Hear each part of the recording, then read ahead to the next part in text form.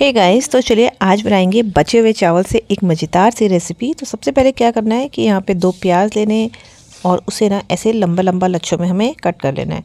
तो यहाँ पे देख सकते हैं, प्याज को कट करके साइड में रख दिया है और साथ ही लेना है टमाटर, क्योंकि हम इसको टमाटो राइस का लुक दे रहे हैं तो यहाँ पे टमाटर थोड़े से ज़्यादा लेंगे। तो मैंने यहाँ पे दो रखे हुए काट के और एक जो है वो मैं बाद में यूज़ करूँगी। और यहाँ पे हरी मिर्च आप अपनी टेस्ट के अकॉर्डिंग कम या ज़्यादा जितना भी आपको पसंद हो, आप उतना ले सकते हैं। फिर इसके बाद एक कढ़ाई में हम करेंगे तेल गरम। दो यहाँ पे सूखी लाल मिर्च मैंने डाल दी तोड़ के और इसको थोड़ा सा हम इसके अंदर भुनने देंगे और जैसे ये थोड़ी सी क्रिस्पी हो जाए, यहाँ पे डाल देंगे जीरा और साथ ही यहाँ पे हमने डाला है एक चम्मच मस्टर्ड सीड्स यानी राई के दाने।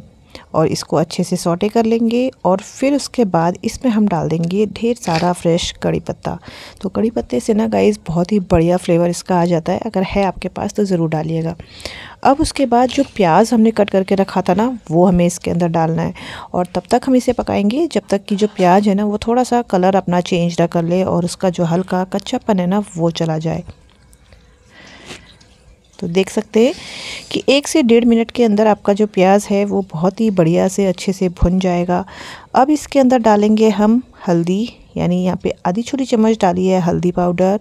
उसके साथ ही यहाँ पे डाला है कश्मीरी लाल मिर्च। कश्मीरी लाल मिर्च कलर के लिए डाला है हमने और फटाफट से इसे मिक्स करके यहाँ पे हम डाल देंगे बचा हुआ चावल।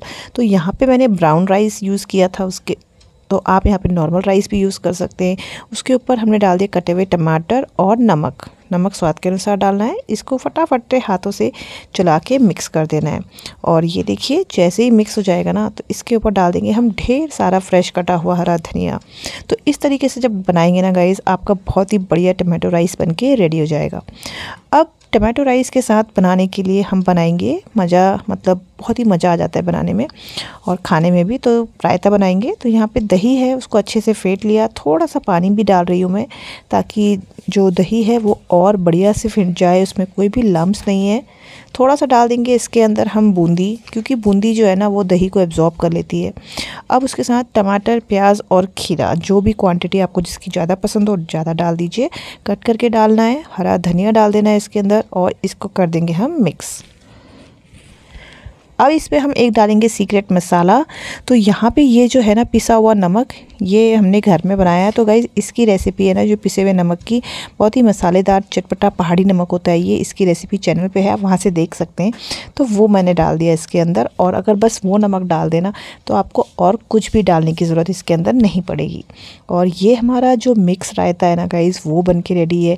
अब हम इसको सर्व करेंगे रायते के साथ, और सैलेड के साथ। तो हमारा टमाटो राइस और रायता जो है ना, वो बन के रेडी है और इस तरीके से बनाएँगे ना तो क्या बिरयानी वाला रायता और क्या वेज बिरयानी, दोनों इसके आगे फेल है। तो इस तरीके का कॉम्बो आप घर में अपने बचे हुए सामान से बना सकते हैं। तो होप गाइज़ आपको वीडियो पसंद आई होगी। वीडियो पसंद आई है तो वीडियो को लाइक करें शेयर करें और चैनल को सब्सक्राइब ज़रूर करें और हर रोज़ बने रहिए ऐसी इंटरेस्टिंग रेसिपीज़ के लिए। तब तक के लिए थैंक यू फॉर वॉचिंग